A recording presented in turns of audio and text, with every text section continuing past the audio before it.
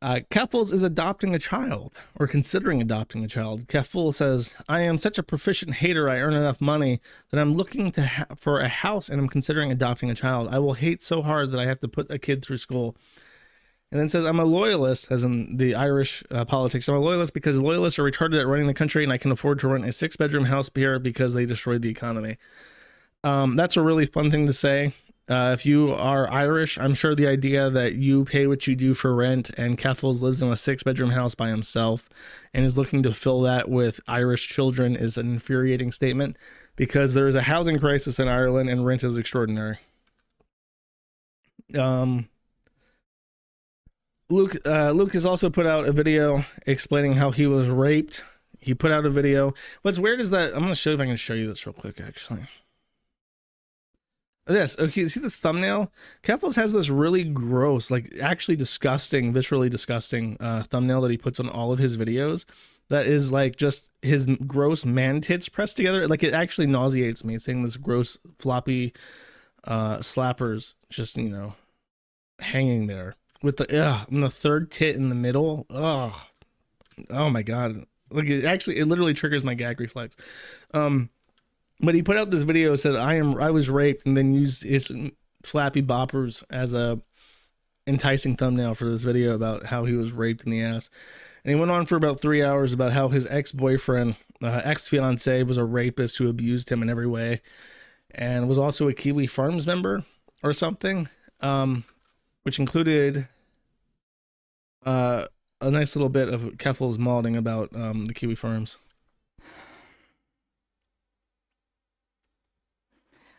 Blood continued on the same thread and said, I'm bitter that Clara, a person I considered to be a friend, broke bread with a man who shared our doxing thread to his chat.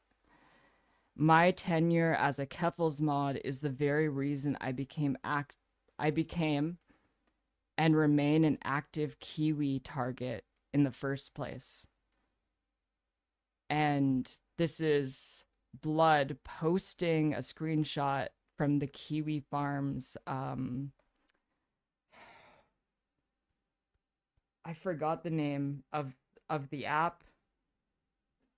The app that a lot of Nazis use. Telegram. Telegram. I think it's Telegram. I, more people use it than just Nazis, but this was from the Kiwi Farms Telegram where Joshua Moon posted blood saying they spent months on end obsessively talking about us and i still have intensively violent fantasies about unaliving joshua moon as a result. Um there was a reply to this what is this supposed to prove? This is just Kiwi Farms complaining about being taken down and then being brought back up again. Just say, I don't like Vaush and I'm bitter that a streamer that I'm parasocially attached to is friends with him. It's really easy. And I need to remind everyone that to this day, Kiwi Farms hates my fucking guts. This was from a couple days ago. This is Joshua Moon's Twitter account. He's active. He's on Twitter. He's tagging me. He's instigating harassment against me. It never ended. It never came to an end. And the only reason I don't talk about it is because even if the site is completely dead forever, they're still going to be around and they will hate me until my dying breath. And I simply want to move on with my life. And bringing oh, that's too fucking bad. Kiwi Farms as some sort of gotcha is victim blaming.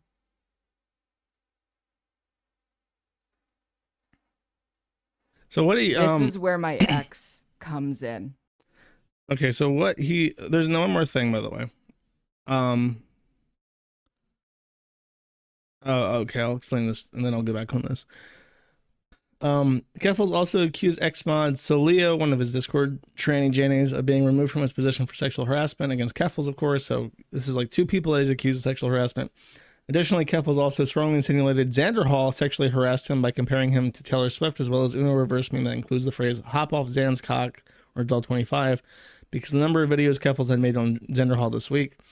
Uh, finally, the ex fiance who was accused of rape came forward with additional accusations, this time that Keffals let his guinea pig die by drowning in two inches of water. Keffals plans on buying more guinea pigs in the coming months. A big part of that was um, complaining that this person, uh, their ex fiance, had tried to get compel them to get rid of his guinea pigs that he apparently had had for a while. Um, and the the ex person shot back by saying, "Why is it so slow on this on LibreWolf? Because when I do it on Chrome, it works just fine." Um, it's annoying.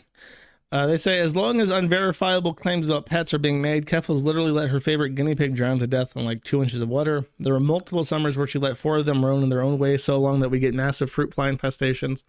For my part, my cat is still alive at 13 years. She's healthy and happy and most definitely won't die of neglect. So, the um, yeah, Keffals. I don't even know why Keffals is like so so weird and pissy about uh this person. And in their efforts by the way to condemn their ex-fiance of doing him wrong um he keffals reveals that number one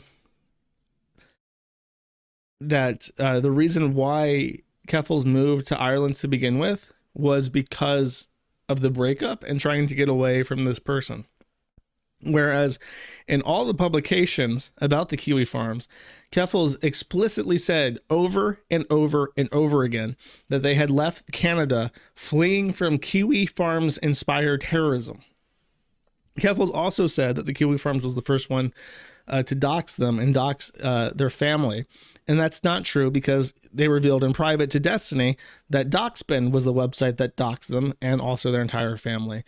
So the initial incident about the swatting that happened when the swatting was just a police investigation over an email was not like an actual uh, attempted you know breach entry or whatever.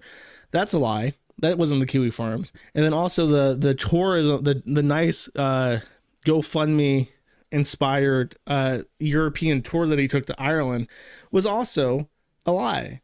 Uh, admittedly, it was always obvious that they just went to, and council just went to, to Europe to uh, and spend some money that they just got from a GoFundMe under the guise of it being necessary flight for life. Um, but then now it's ex- explicit that what Keffals did wasn't just fly to Ireland and move there.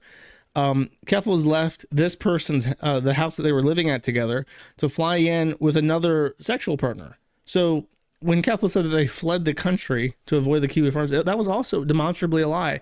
And what's sad and my big rant this this month has or in the last day has been about Wikipedia. These articles that are trusted news sources republish lies, and they cannot be compelled to unpublish their lies. And then at the same time, um, Keffals is now free to basically renege on their entire story, repurpose the events of 2000 or 2022 to harm their ex partner who they're trying to accuse of rape and then at the same time, while undermining their original story about the Kiwi farmers being a threat against them, uh, that fact, th- those uh, allegations by those journalists will never go back into the bottle. It'll never be put back in and it will never be uh, removed from Wikipedia, and it will still be Keffals fled the country to get away from Kiwi Farms that was habitually doxing them and trying to murder rape them. Uh, while Keffals is free to gallivant about how the underlying cause was actually a, a domestic dispute with their fiance. It's it's it's. I mean, it. This is a uh, really tight example of how the narrative that people are being fed and how journalism works and how Wikipedia works is a fucking farce. And it's disgusting. It, it, honestly, it fills me with such a, uh, an enormous amount of contempt. Thank you for watching this clip. This is the CACA Remember to like and subscribe.